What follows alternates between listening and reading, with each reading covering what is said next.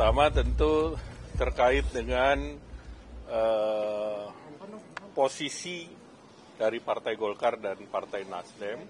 Dan kedua, uh, silaturahmi kan berlanjut karena uh, Partai Nasdem tentu sebagian besar juga alumni dari Partai Golkar.